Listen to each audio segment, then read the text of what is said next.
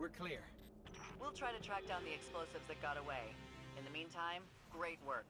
Those tanks would have been a lot to handle. We make a great team, everyone. Let's do this again sometime.